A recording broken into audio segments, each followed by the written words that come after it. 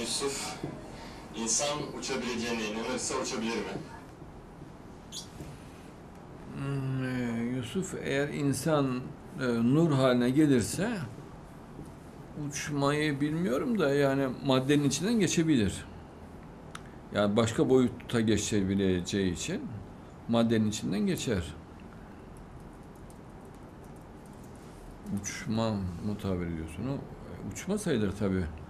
Çünkü dünya atmosferine girdiğine göre dünya atmosferinden çıkabildiğine göre bu bir nevi uçma olmuş oluyor.